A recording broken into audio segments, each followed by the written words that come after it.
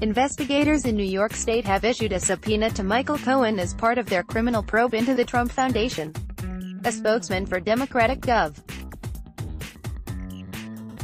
Andrew Cuomo's tax department confirmed the subpoena to the Associated Press on Wednesday. The subpoena was issued after Cohen's attorney said the longtime lawyer for President Donald Trump has information that would be of interest to prosecutors at both the state and federal level.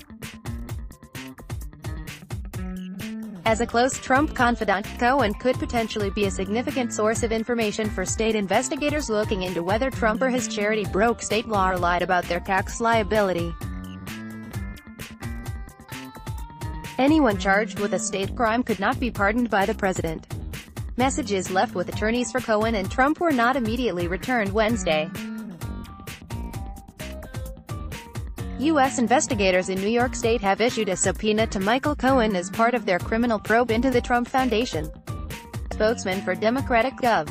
Andrew Cuomo's tax department confirmed the subpoena to the Associated Press on Wednesday. The subpoena was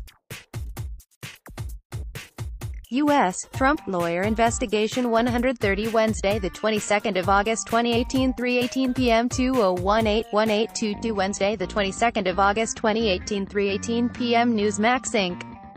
Newsmax Inc. Newsmax Inc.